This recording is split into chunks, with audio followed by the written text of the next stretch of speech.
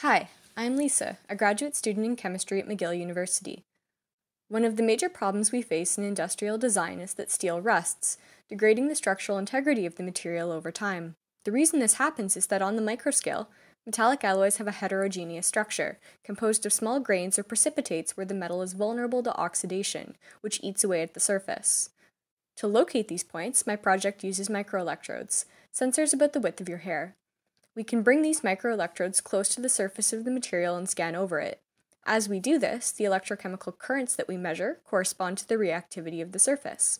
In this way, we can map points of vulnerability and identify where the surface will eventually begin to corrode. Combining this information with mathematical modeling techniques, we can predict what the material will look like weeks, months, or even years in the future. For the things that we're trying to design today, this saves both time and energy by ensuring we pick the right material on day one.